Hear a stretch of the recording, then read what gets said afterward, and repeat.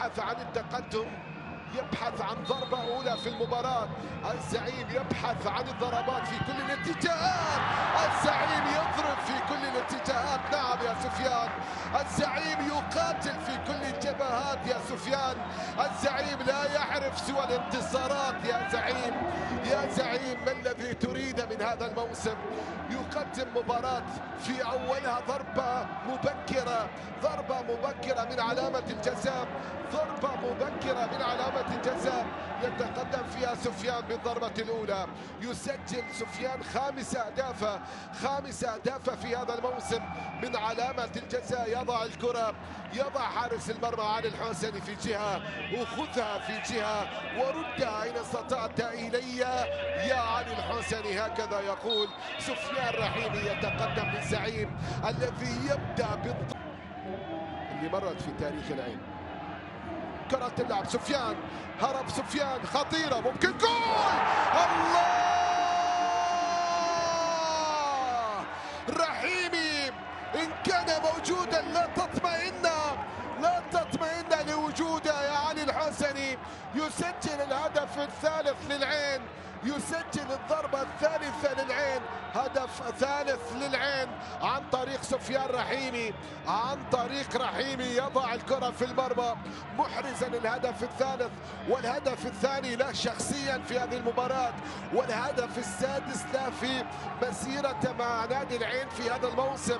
شوف اللقطة شوف اللمسة وصلت من عمر الزيني بلمسة عمر الزيني أخطأ عبد الله صالح خرب في اللقطة الماضية. سفيان رحيمي سفيان رحيمي يسجل الهدف الثالث بتسديدة قوية. سكنت الشباك يتقدم العين بالهدف الثالث ويعمق جراحات البرتقالي. يعمق الجراحات أكثر. سفيان رحيمي يضع البصمة في مرمى فريق نادي العين ويرفع عبد العزيز بيحاول يمر لكن سرعان ما يخسر الكرة. كرة إلى الأمام في مكان خطيره سفيان ممكن جول! الله! الجلاد الجلاد سفيان! يضع الكرة في المرمى. يسجل لكن هنا راية. هنا راية راية راية وتسلل. رايه وتسلل يعلن عنها المساعد الأول لحكم المباراة السيد قيس الخديم. يعلن عن وجود رايه وتسلل لسفيان رحيمي.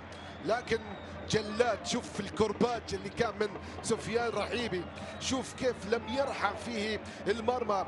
سدتها قوية في مرمى علي الحسني. هل كان في موقف تسلل من هذه اللقطة الصعب إنك تحكم إذا كانت وضعية التسلل حاضرة من عدمها؟ ولكن سفيان شوف التسديدة قوية قوية جدا. لا يمكن لا يمكن التصدي لها. وبالتالي الهدف الرابع الهدف الرابع بيلغى بداعي التسلل. هدف نعم سفيان سفيان يسجل الرابع. سفيان يسجل الهاتريك.